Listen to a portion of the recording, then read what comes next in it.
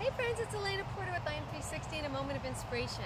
So I am in the south tip of the state of Washington and I just found this absolutely majestic little forest behind me to stop and do a meditation and just kind of share some inspiration with you.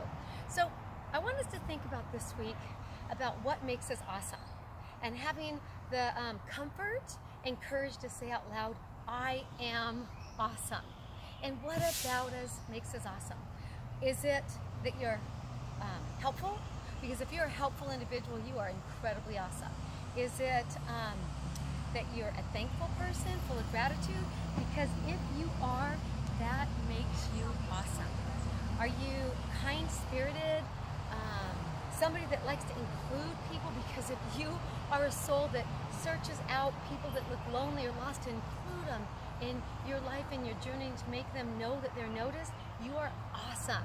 So friends, what makes you awesome?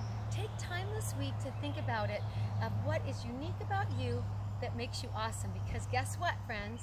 You are awesome. Peace.